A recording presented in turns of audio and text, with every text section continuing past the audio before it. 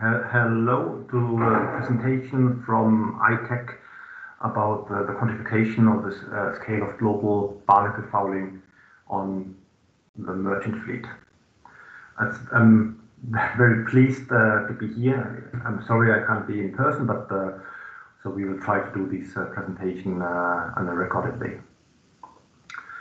I-Tech, who are we? We are a small Swedish biotech company, small but global. Um, we are the inventor of uh, Selektope, which is a barnacle-repelling active agent, which I will explain later on shortly. We supply globally to paint um, manufacturers um, in the marine market. And at the moment, there are more than nine commercially available defined products available containing Selektope in the paint. We are listed on uh, Nasdaq First North since uh, 2018. Um, there are several hundreds of vessels coated already with our technology and all type of uh, vessel types. And of course, we have an extensive uh, R&D uh, project ongoing, and it's protected by patents. I will not talk a lot about the marine fouling process. I think in this forum it has been discussed several times. Just as a short reminder, um, it starts the absorption of organic matter. You have the first colonizers, second colonizers, and finally you get to macroscopic fouling or hard fouling, which has a shell. And I will mainly talk today on barnacle fouling, which is normally uh, in this category. Uh, that's how barnacles look. I and I believe most of you unfortunately have seen them uh, on vessels. Um, here you have some pictures from how heavy barnacles can uh, can look. And this, yeah, no need to repeat it, but everybody knows it, the famous study from uh, Schultz from the Office of Naval Research, where you can see that 10% of barnacle coverage already has 36% effect on the shaft power, of course, depending on on the vessel type you have. Um, so here you can already see that a small amount of barnacle fouling already has a huge impact on uh, on shaft power and as a consequence on consumption. Why there's so much focus on biofouling? Um, as I said before, it's uh, uh, there's a huge uh, pressure nowadays to reduce fuel bills and carbon dioxide emissions, um, especially now with the COVID-19 situation. Everybody has to save money. Um, and estimations say that 10 to 15 billion US dollars could be saved if shipping companies would move the best fouling uh, control uh, systems. Um, as a consequence, uh, of course, the carbon dioxide emissions will be would be saved, um, and especially with the carbon zero scope of 2050s. And Being more and more in the discussions is the reduction of invasive species.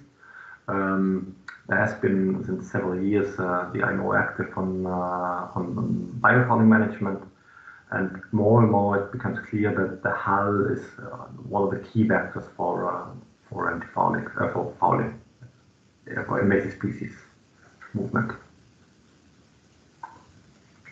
So this is Selektope in a nutshell. This is a vessel um, which was in Tokyo Bay. The area tested where Selektope was in the paint, and you can see here an area of paint where was not uh, included.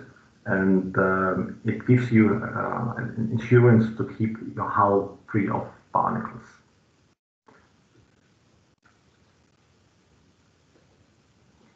That's how a barnacle larvae uh, looks like under the microscope. This is the molecular structure of Selektope or medetomidine, as it's called chemically, um, as an active agent.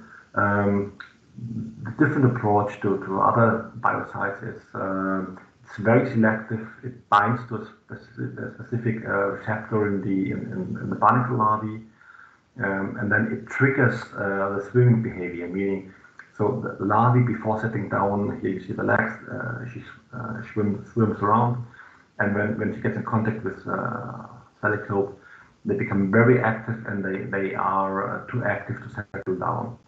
The speed of kicking becomes very fast. It has European Union and most global marine markets. Um, there is no bioaccumulation, meaning um, it's not killing the uh, barnacle, um, so there will be no resistance, um, which is good, and it's not accumulation over time in, in the organism. So to go back to the working mechanism a little bit more in detail, so you have the adult barnacle, for example here the propeller. Um, these barnacles they release uh, the, the larvae, the different states, stages of larvae. So first you have the nauplii larvae. This one is, is, is eating and growing, and then after some time it converts to this cyprid larvae, which I, I showed you a picture before. And this one then is swimming around and trying to find a place to settle down to glue on the surface and then uh, to grow to become an adult barnacle. And what Selektope does exactly in this step from the cyprid larva, when, she, when they want to settle down, they, um, um, they bind to the receptor, they start swimming very active, the kicking of the legs becomes faster, and so they can't settle down. But it's not lethal. After two, two three hours, uh, the Selektope is digested and, and the larvae go back to normal mode and they can settle down on, on other areas as a positive side effect, as, as mentioned before, it's not toxic, it's not killing the larvae, and so no selection process can happen, so there will be no uh, resistance. They cannot become immune against Selektope in a simple way of talking. Yeah, another um, property of Selektope is uh, it's it's very active, so you need very little. if you compare, for example, uh, different paint uh, formulations, biocide A, you have around 800, 750 grams of this uh, biocide in one liter of paint. Uh, alternative B, against hard fouling, you have around 100 grams of, of, of this biocide in, in, in, the coating. And for Selektope, you have around 1.6 grams of, um, of In a paint. So it's a, it's a very active uh, ingredient. You need only about around 0.1%. Um, as I before, it, it's uh, degraded and it's so far only used in self-polishing and defoulings, and not it has not been used so far in uh, fouling release systems. So technically, that's uh, that's possible. So now I can start with the, uh, the research, which I am going to present. Um, I-Tech, we contracted uh, Safinah, uh, which is an independent uh, consulting group for coating and coating engineering. Located in, Newcastle, in the United Kingdom. What they did, or what they do, they attend dockings, in dockings, and, and give also um, advice for the application. So they have uh, they have at that moment a database of 49 vessels uh, with writing reports, um, with an extensive um, data elaboration of the quality of the incoming situation of the vessel, what type of fouling, uh, percentage of fouling, and so on. And on these 249 vessels, they had 572 observations of uh, fouling, um, and this was done with dockings done from 2015 to 2019. So this database from Safinah constantly keeps on growing as they keep on uh, attending uh, dockings. So on a very general uh, level, they have, have seen that on 44% of the vessels, um, there was more than 10% of the underwater hull covered with barnacles. So here are ranges 0 to 10%, 10 to 20%, and so on. And 112 vessels out of uh, the full uh, number, there was less than 10% of the hull covered with barnacles and you see 44% had more than 10% uh, covered. So, so, there's a significant amount of hard fouling, barnacle fouling on, on general on, the hulls. What uh, location? Um, so you can see here BT means boot top, vertical sides, flat bottom, and sea chest. Uh, different types of, uh, of, of, of, fouling. Um, you can see that in the sea chests, more than 90% of the sea chests have had animal fouling. And you can see on, on the boot top, which is generally has less fouling as it's part of the time out of, of the water, only 20% had only slimes and, and, and weed, and more than around 80% had, had uh, some type of animal fouling. For the is not exposed too much to, to light normally. You can see there's less algae and slime, but still um, yeah, around 85% uh, of them have had um, hard falling.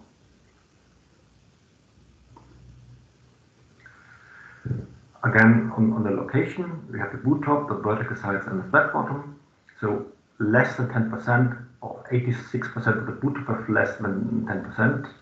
Probably those are the vessels which uh, have more time with the water, like, like tankers. Um, the vertical sides, only 67% um, have less than 10%. So you can see it's a significant amount of fouling and between 10 and 20 percent, it's 12 percent of uh, the vessels, um, the, the, vertical sides uh, covered, and 20 percent have more than 20 percent of, of, of, animal fouling on the vertical side. The situation looks even worse if you go to the flat bottom, uh, where 32 percent had more than 20 percent fouling area uh, on the flat bottom. So the fouling is, is quite significant also on the flat bottom, which can be a very high uh, area depending on the vessel type, especially if you look on tankers, which is more a box form. Uh, um, this has a significant contribution to, to the hull performance. If you compare activity, um, lower activity, so um, Safinah also compared the activity of, of, of the vessel. Um, of course, those relative the, the lower activity vessels, um, you can see only 55% have less than 10%. On the higher activity vessels, 73% have less than 10% of fouling on, uh, on the surface. So this again proves that the less active a vessel is, uh, the higher is the challenge for, for the fouling. Um, yeah and also maybe as a side comment, so barnacle larvae only can settle if, if uh, the vessel speed is lower than, uh, than 6 knots. If you look on the type of um, biocidal antifouling rates, um, it's not a surprise. Um, if you go from for high grade, it's around 10% of on average of the, of the surface is uh, or 12% is covered with uh, hard, hard fouling if you go to um, low grade, it's around 30%, and for the medium, it, it's up to 37%. So it's a little bit surprising on the first uh, side that going from low grade in defouling quality to high grade, that that the medium grade is uh, showing uh, worse performance. But this can probably be explained that very often if somebody goes to more aggressive uh, conditions or five years idling, and they don't want to go for for high, for high grade, they go for medium. Um, and if there's low fouling pressure, ship owners prefer, or, or want to save money, they go for, for low grade antifoulings. But this is definitely a proof that, that the investment into um, better antifoulings has an effect on your performance. Um, we have some uh, pictures ahead, um, and that's always it depends on the system of antifouling what uh, what you have. So this is an example of a low-grade antifouling. Um, cuprous oxide and cyanide as a co-biocide against algae and slime. Uh, you can see uh, flat bottom and uh, vertical sides. Um, the five years in docking, and you can see really there's still antifouling left, so it's not poorly through, but there is um, significant amount of barnacles, so bigger size and, uh, and smaller size. Now we go to medium grade. Um, this was also a five years uh, in docking of an LNG. On the flat bottom, you can see uh, quite big barnacles, and also here on, on, on, on, this one. So there was on the vertical bottom a little bit less than 50% was fouled with barnacles. On the vertical side, uh, 3,000 square meter out of 8,000 square meter. If you go then to high grade, in this case, uh, cuprous oxide and copper pyrithione, uh, uh, algicide, uh, cobiocide, um, on, on all products tanker, you can see here around uh, two centimeter big barnacles. On, on the boot top, which uh, is less immersed, uh, it's roughly 50% of, of the area. On the vertical sides, it's also uh, roughly 50% of, of the surface which is covered with barnacles. And this has tremendous impact on performance. It's not only classical antifoulings with uh, polishing, but also um, fouling release products can uh, foul and can get barnacles.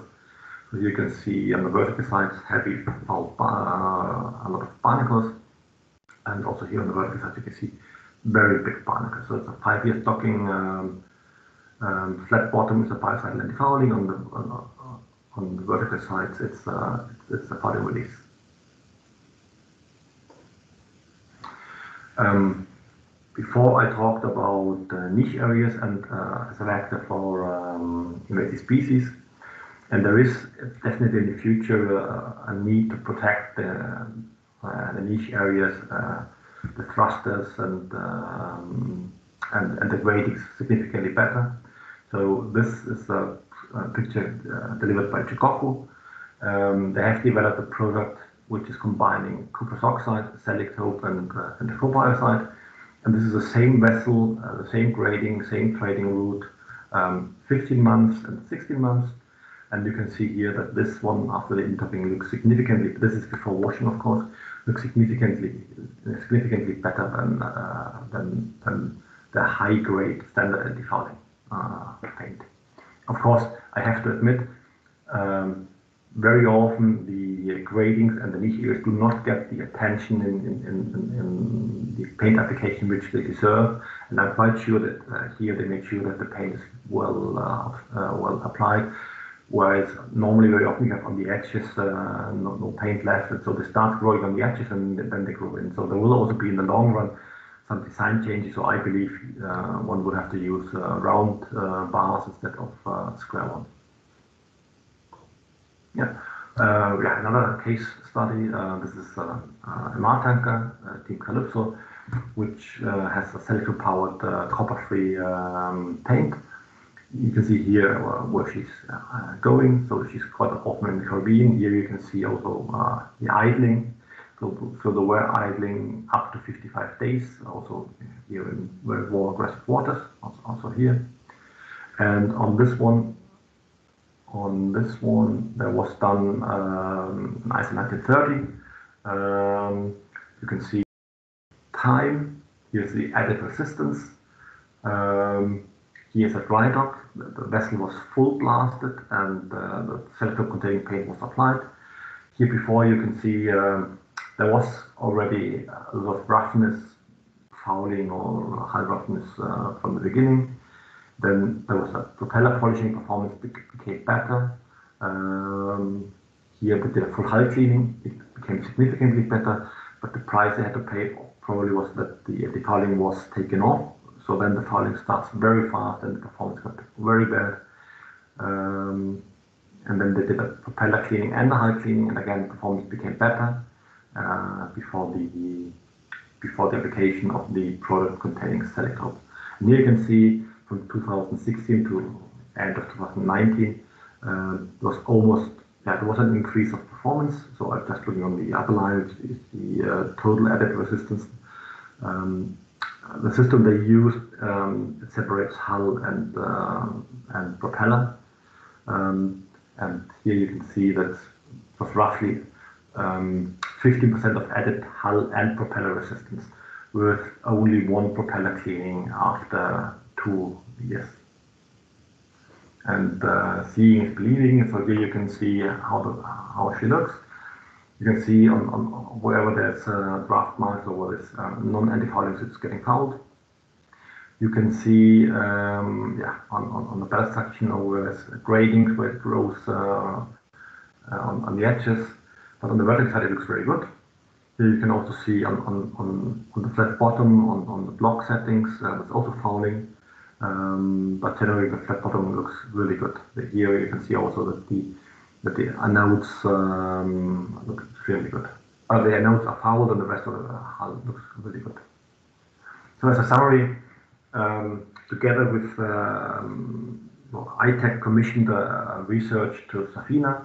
So they looked into uh, the data of 250 vessels um, of the animal and barnacle fouling, and it, it proved that barnacle fouling is a much bigger problem than stated by uh, by a lot of uh, people in, in, the coatings industry.